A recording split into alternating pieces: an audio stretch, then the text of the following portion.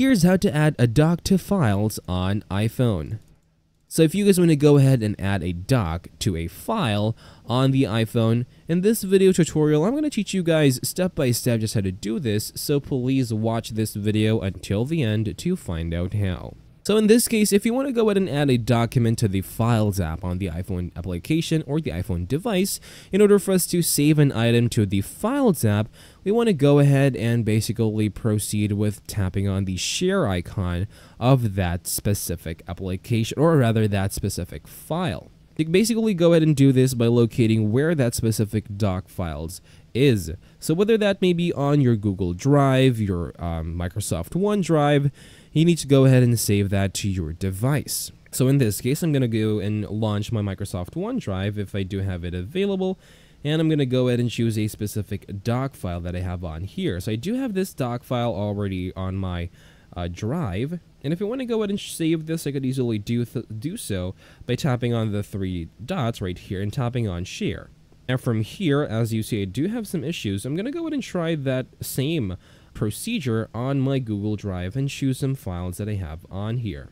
In this case, I'm going to choose this file right here. I'm going to tap on the three dots again and tap on share, just like I did with, of course, the Microsoft OneDrive. This shows me, of course, the option to add people or groups and not necessarily the option to share this to my Files app. So let's go ahead and try that one more time. And let's tap on this option on the bottom. Let's actually go ahead and proceed with looking for the option called Send a Copy. And that's going to give us the option to save this to our Files app, just like so. So as you see, we have this option called Save to Dropbox, copy the file, and once you see the other application that is on here, you're going to see, of course, the Files app if you just try to locate it. So if we go ahead through here and try to find our Files app, well, basically it's still not located right here. So if we go ahead and basically save this application to the Files app, of course, we need to go ahead first and proceed with importing this onto our device.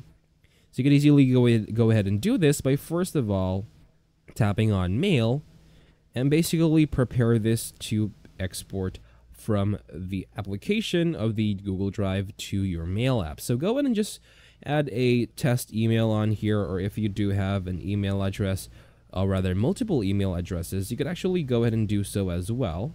So let's do that just uh, real quick and let's add our preferred email address. So once this is done, let's go ahead and tap on send. And from here, let's go ahead and launch the mail application. And what we need to do from here is to go ahead and tap on send and basically view the specific um, file or email that you sent to that person. So let's basically assume that this is the specific file that you have basically sent. So if you want to go ahead and send, rather download this specific file, of course, all we need to do is to long press on the file and tap on save to files real quick. And that's going to allow us to basically save any file, which is a doc file, over onto our Files app on the application on our iPhone device. As you see, it's that easy.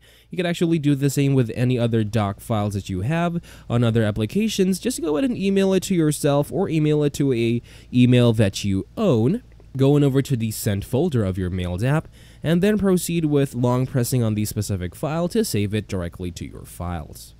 That's all for this video guys, thank you guys for watching, please like this video and subscribe as well if you guys learned something, and take care.